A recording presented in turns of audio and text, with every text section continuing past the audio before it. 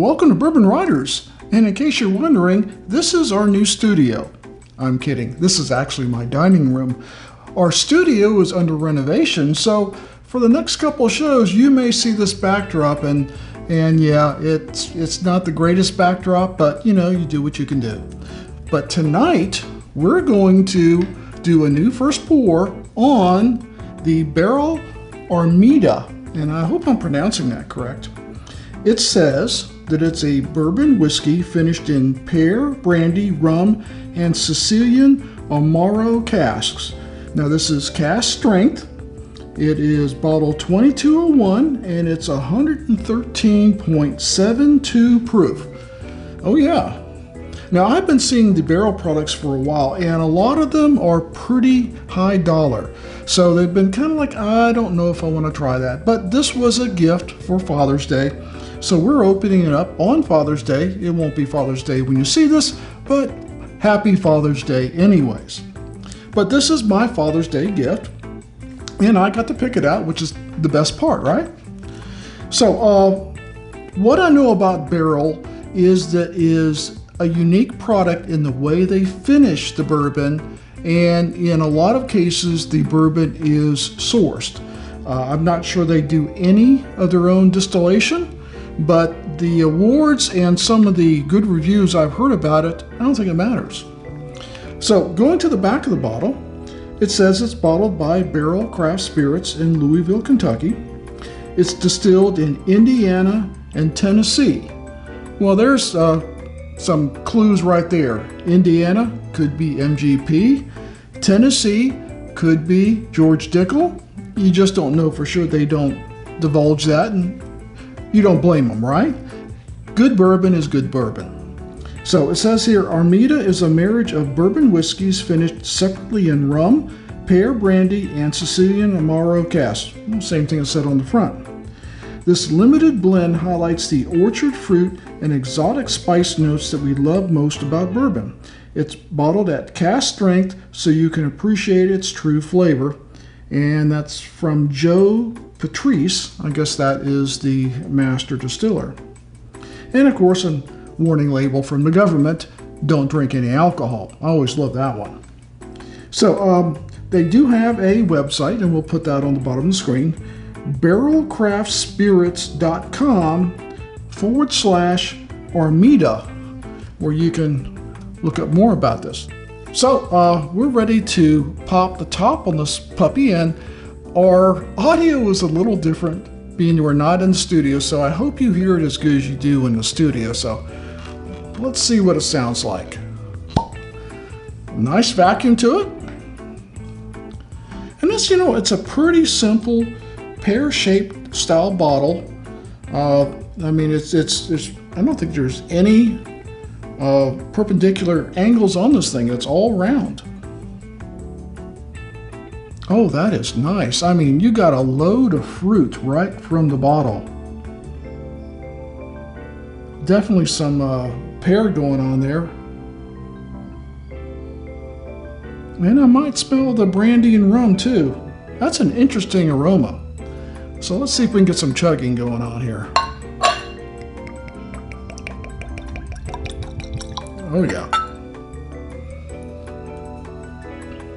I don't have quite the table space I normally do, so we're just gonna put it a little bit off to the side. Hopefully you can still see it. Like I said, there is they have a lot of variety. If you go to a bottle shop that carries like the full line of the Barrell, it's quite uh, uh, quite the show. I mean, uh, there is a lot of varieties, and the ones I see, most of them are finished in something there is, uh, I think, one or two that uh, is just a cask strength uh, bourbon, uh, a blend, naturally. But uh, the finished uh, bourbons is what interests me in it. And I think that's what a lot of people like the Barrell for is how they finish the bourbon. So our light is off on a different side tonight. That's a beautiful color. Let's see if we can get some legs going there. I'm right-handed, so I'm having to come across the camera.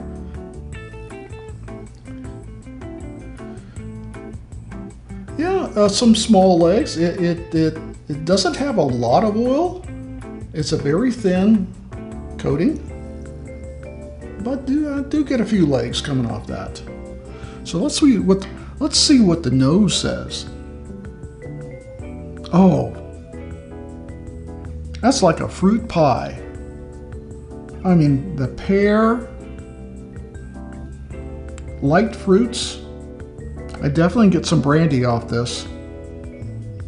Maybe rum. Didn't they say rum? Uh, yeah, rum is part of it.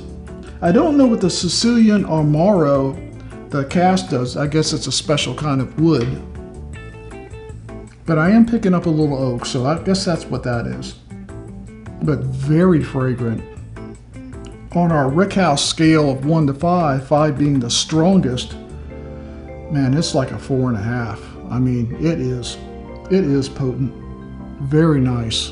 I mean, you could just smell this and like, man, I, you hope, you really hope that it tastes as good as it smells. I mean, it just smells that good.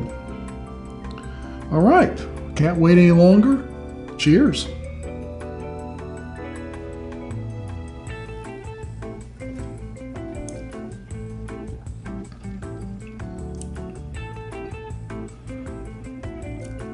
It's not going to be easy describing the, the fun that's going on in my palate.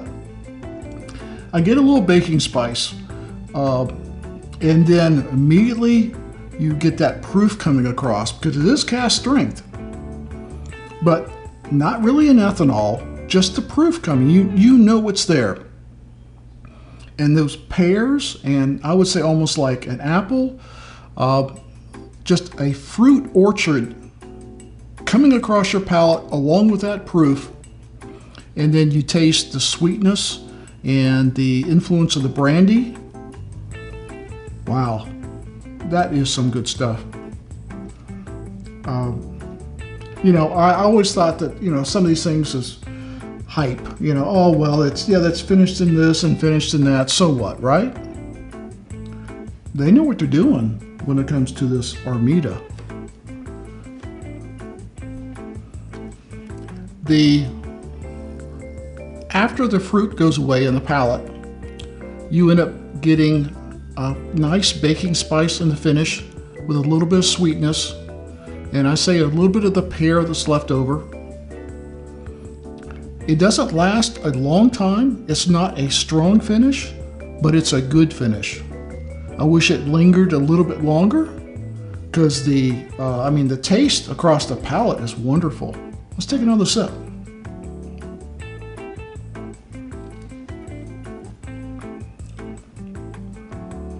And then there, there's a flavor I can't identify in it. I think it's in the spice, almost like a cinnamon or a nutmeg or something along that line with along with the uh, fruit.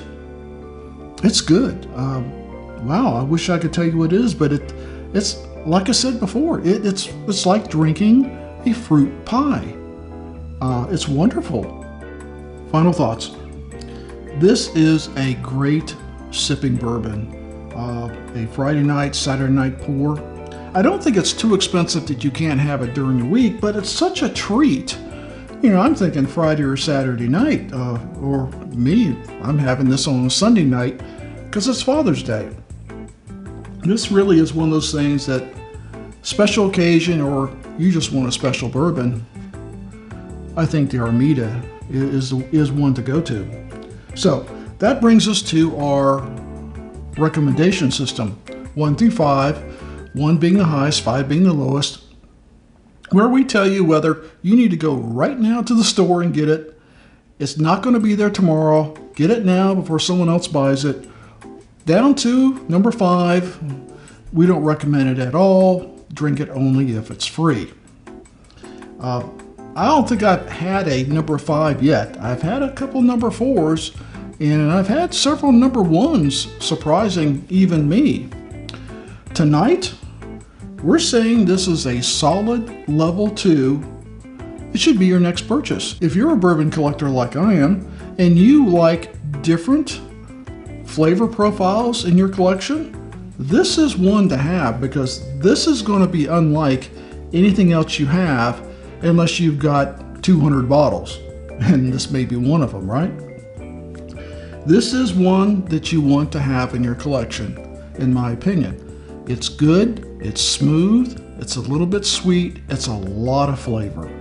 So, it's a fine sipping bourbon. So, level two all day long. So, we hope you uh, gentlemen out there, you fathers out there, had a wonderful Father's Day, even though this is a little late when you're seeing it.